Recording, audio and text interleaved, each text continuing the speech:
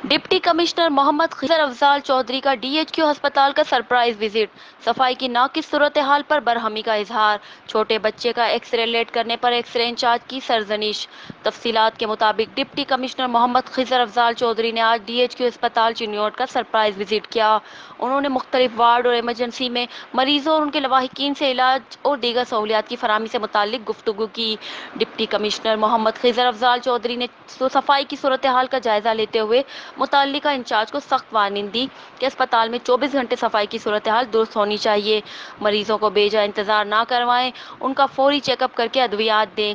इस मौके पर उनके हमरा A D C G Aitzaz Aslam मार्द C O health doctor Saifullah वड़ाई जो दीगर भी मौजूद थे।